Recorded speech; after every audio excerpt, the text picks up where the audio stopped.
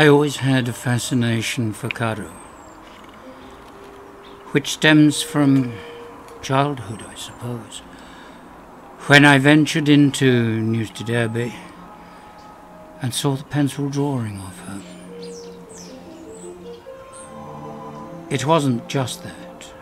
There was something more. Something which haunted one.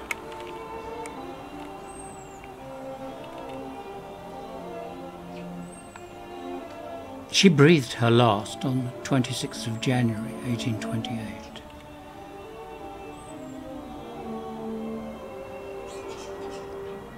She lay silent and motionless, as though staring at a vision from her past. Her bedroom at Brocket had been a shrine containing an altar cloth, a crucifix, and a portrait of Lord Byron.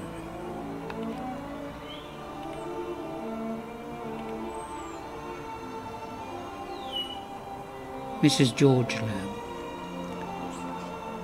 her husband's sister, who had been her friend and playmate in the halcyon days at Devonshire House, held her frail, thin hand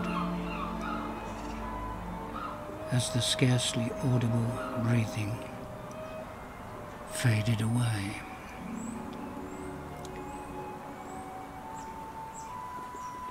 Then there came a long, long sigh from her still lips. It was over. Caro was at peace. She died without any pain and from complete exhaustion. That was according to the doctors who crowded around her lifeless form.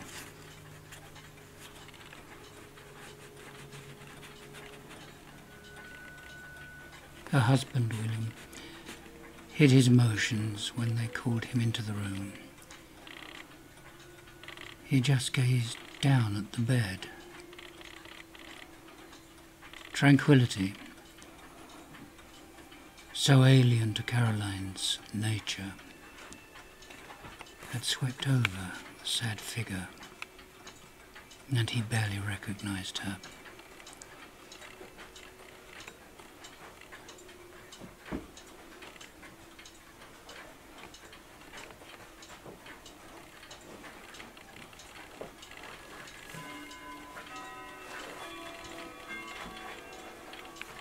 It was rumoured that an obituary notice in the London Gazette, which touched on Caro's connection with Lord Byron, was written by her husband.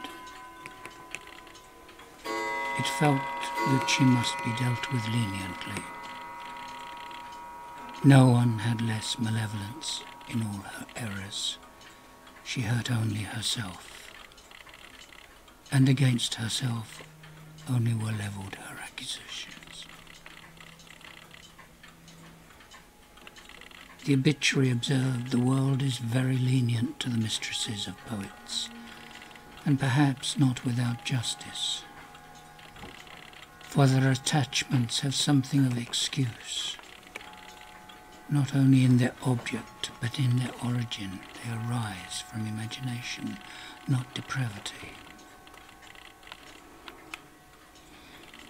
There are many yet living who drew from the opening years of this gifted and warm-hearted being hopes which her maturity was not fated to realize.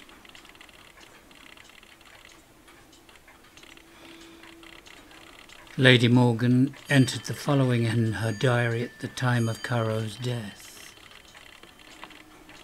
She was tall and slight in her figure.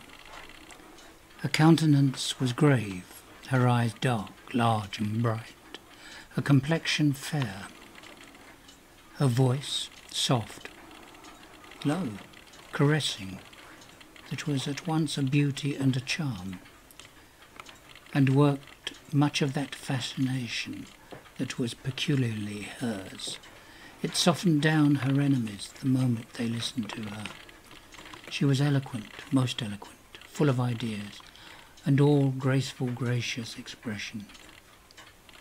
But her subject was always herself. She confounded her dearest friends and direst foes, for her feelings were all impulses worked on by a powerful imagination, all elements of great eloquence, but not good for guidance.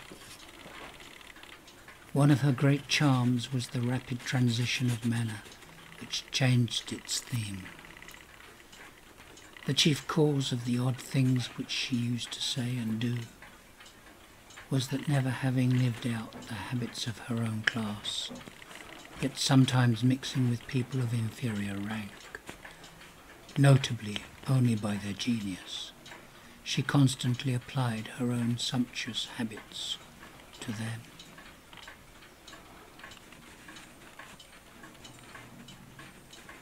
Caroline was interred in the Lamb family vault,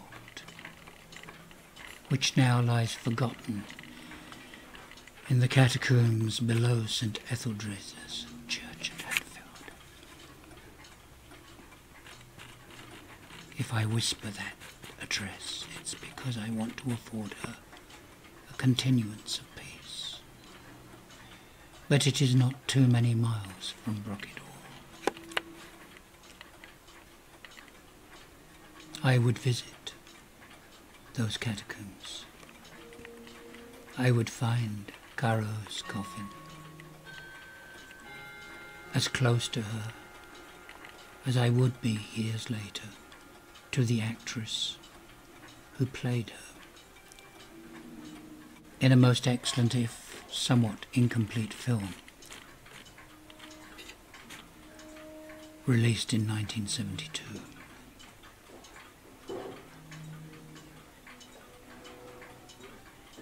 I thought I'd be overwhelmed meeting the actress Sarah Miles. I was not. I remember my actress friend Catherine Hall saying how she played Caro was the minimum, at least that, at least. We were on a pilgrimage in the 70s to Newstead Abbey, and there was much Carolinish about Catherine Hall to say the least. I'd agree with her that Sarah Miles played her more or less to perfection. The tumult, the ardour, the romance which bewildered her reason and clouded her understanding.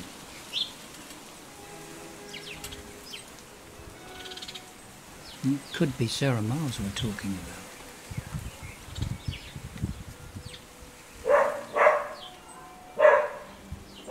Such as it was, my connection to the actress that played Caro was somewhat thwarted by her manager. At least I believe him to be.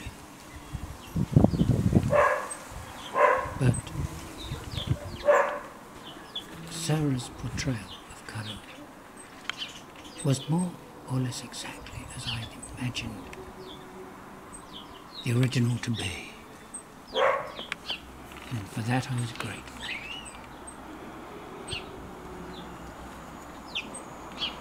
Caro recollected Lord Byron's promise and vow to her, written in the distant, also distant past. No other, in word or deed, shall ever hold the place in my affection, which is and shall be sacred to you, till I am nothing.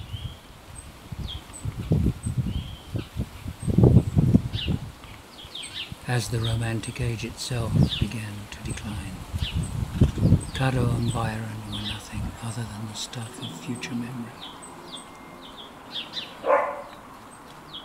Yet, yet they seem restless in our midst. Their unearthly presence can be felt. They haunt us still.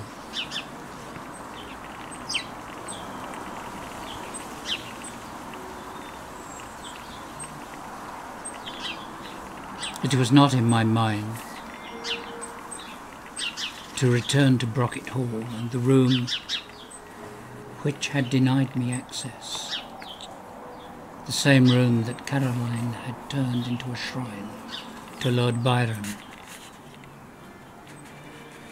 It would seem that time was effacing memory of the room itself.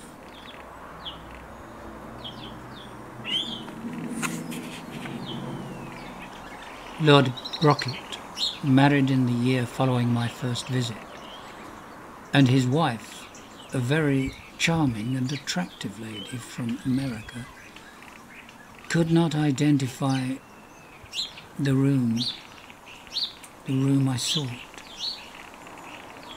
due to conversations having taken place at the house. She was apologetic, most apologetic for being unable to assist the discovery of Caro's bedroom, but having explained that Lord Brocket is a great non-believer, went on to recount several uncanny experiences which had occurred at the hall since her arrival. Lady Brocket told me, I did see a woman in the ballroom some years ago when I was playing the piano. Chopin on both occasions. Chandelier started wobbling, and there, there was no one else in the house. I saw the woman from the corner of my eye. She was in a pale, long dress. But when I turned around, she was gone. An echo of Caroline was being glimpsed and heard in the place she loved most of all. And it was heartening to learn that the music of Chopin, which I too have played and loved since childhood, induced a responsive atmosphere. But I would end my pilgrimage where I had begun, at nearby St. Etheldreda's Church.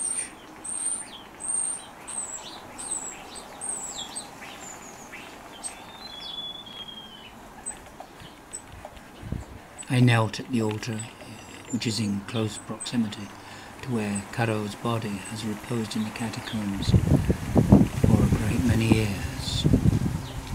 The early mist had started to clear upon my arrival, but the gloom in the dim interior of that sanctuary was all pervading. I cannot say how long I remained. The hours just drifted meditating upon her tragic life, silently praying for herself.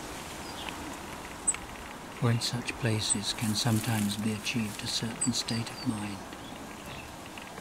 which is out of time. Poor Caro. I heard the words exhale from my lips in a deep, long sigh.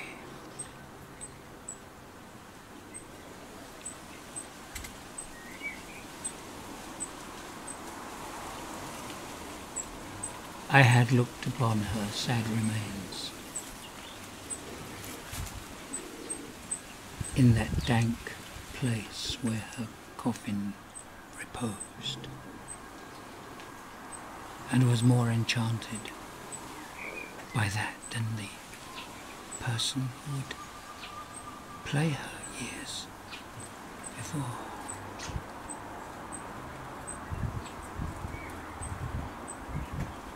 My muse was suddenly interrupted by a shaft of sunlight piercing a nearby stained glass window. It struck the very flagstone beneath which lay Caro's sad remains. Yet more astonishing was the simultaneous tinkling sound in the distance, like the angelic notes of a harpsichord wafting on the wind from afar.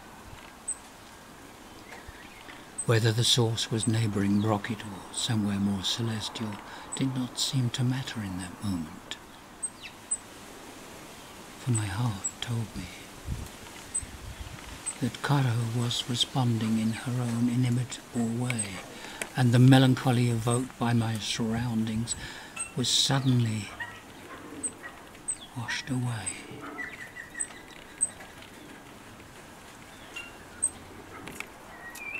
The world that she inhabited grows ever distant. and with it recedes lingering echoes in the footfalls of one who pursued the images of high romance and impossible love. I understood her all too well, as I understand my ancestor by blood. The creature she obsessed over the poet, perhaps England's greatest poet, Lord Byron. I heard myself uttering as I left that place. Fare thee well,